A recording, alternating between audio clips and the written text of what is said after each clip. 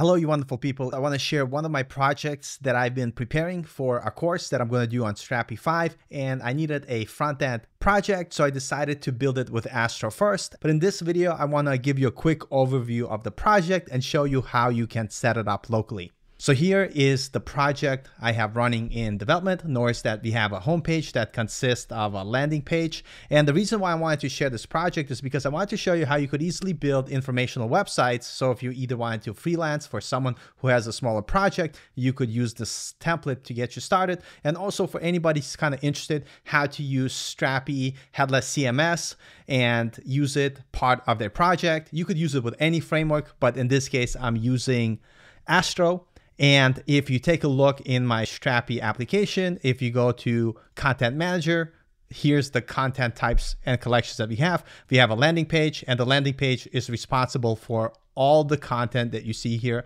on the front page where a non-technical person could easily go ahead and make the changes and updates. It consists of different blocks that I created and you could explore this project on my own and I will release a proper course that I'm going to start recording next week and sharing these videos with you on a weekly basis. So if you're not subscribed and you're interested in that, you could subscribe. You don't have to though.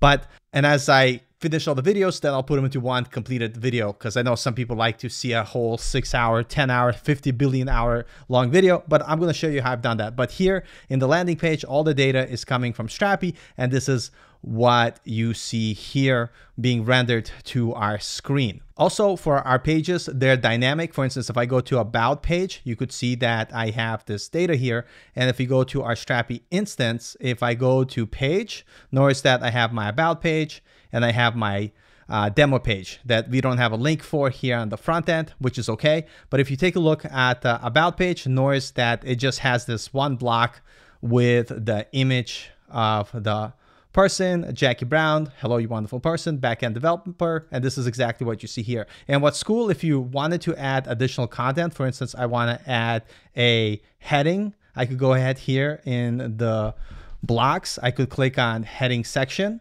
and here I could add my heading by saying this is a heading, and uh, you could add an anchor link, uh, not necessary here at the moment subheading will say subheading. And then when I say publish, right? When I go back to my Astro application, because this is Astro, you need to rebuild your project to pull the data because it's statically generated. So I could quickly go ahead and restart my project. And now when it refreshes, you could see that we have this subheading. So notice how a non-technical user is able to easily add data. Now, because this is statically generated after every change, we have to rebuild our Astro app.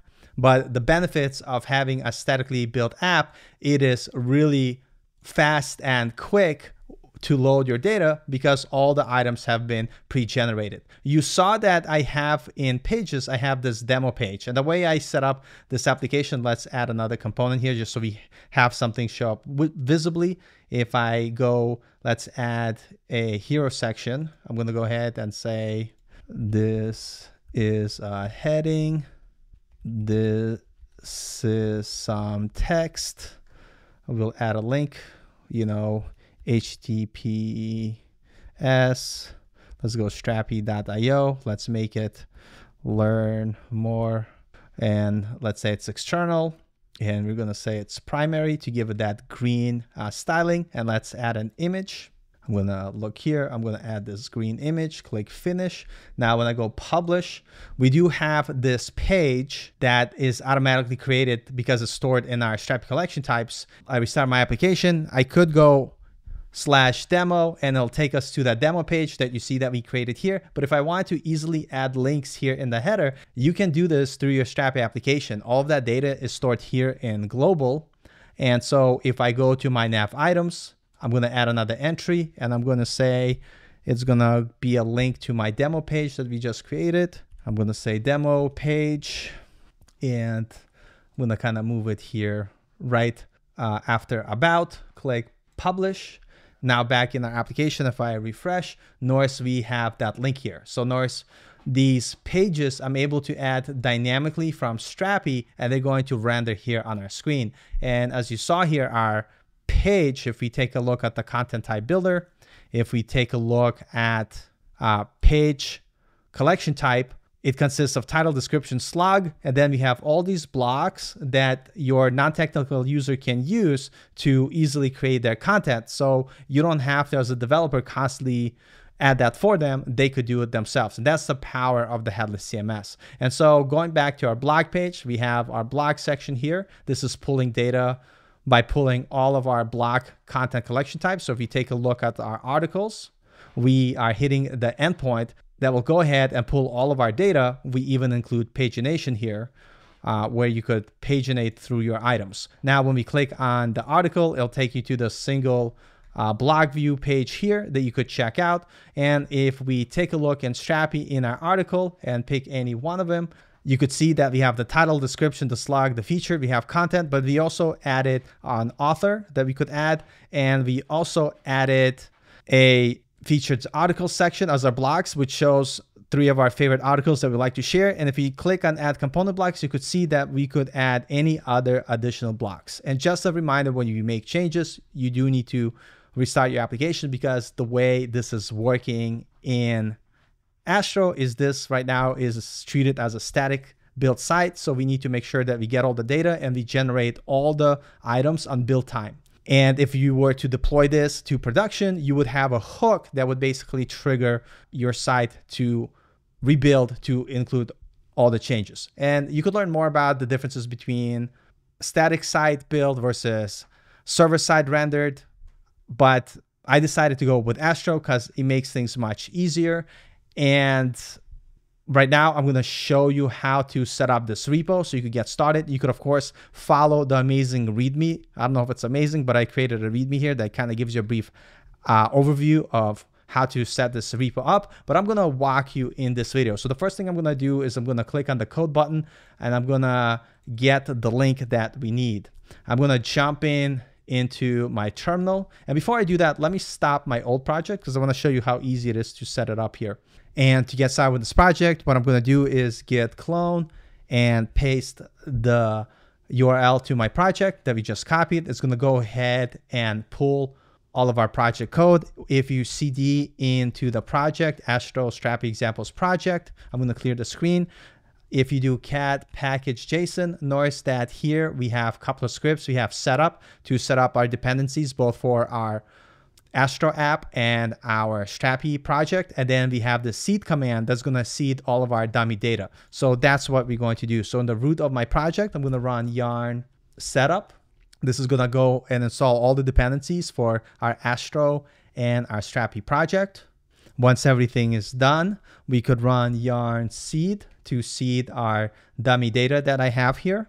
Once all the data is imported, I'm going to open the project in VS Code first. So I could walk you through some of the code, but before we do that, we could start our project by running yarn dev. This is going to start both our Strapi server and our front end.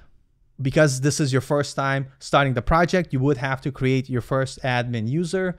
So go ahead and do that and make sure that you use a very secure password like monkey1234. Why not?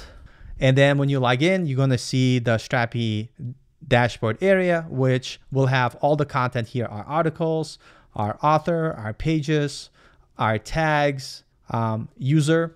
I didn't implement in this project, but you could have users that use your app. We have our global page, which basically is responsible for our logo, our header navigation items, our footer navigation items, as well as our banner that you see at the top of our page. Our landing page is obviously responsible for our landing page data from our hero section, our heading section. So it's it's all the data that you see on the front end. So pretty much everything that we see on our front end, you could manage here in Strapi.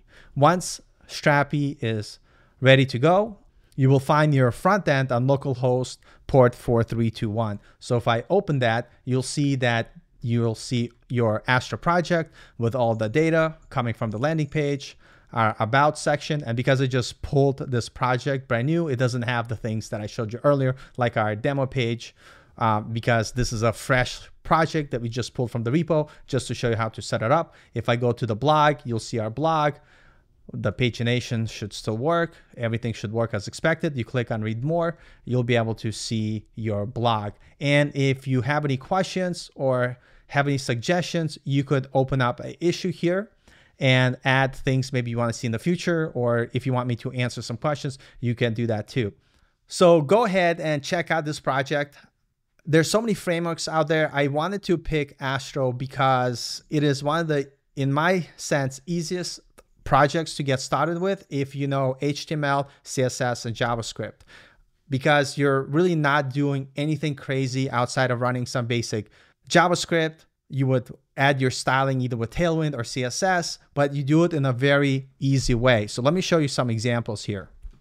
I went ahead and opened my project in VS Code. If we take a look at the client folder, this is where all of our Astro code lives. Server is our Strapi backend where we didn't do anything fancy because all the collection types and content types, we created it from our Strapi admin, which is kind of nice. But here in Astro, if we take at the source and we look at the layout, this is our main layout, which has our header, banner, and footer. This is what you see, our header, our banner, our footer.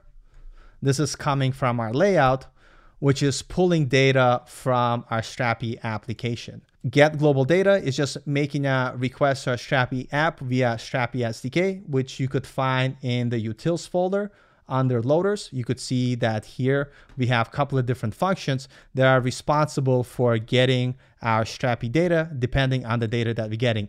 And all of this is made easy by using our Strapi SDK that we're pulling here at the top. So if you go to Strapi client, you could notice that I'm pulling our Strapi SDK client and this um, instantiating the instance of the Strapi client and passing the URL. And then if we take a look at the loaders, I'm importing that client and I'm using it to load and get the data that we see. So back in our layout page, notice that I'm just pulling the function to fetch the data and I am literally calling that function and I'm getting that data and I'm able to access the data here in the HTML like syntax is really close to HTML.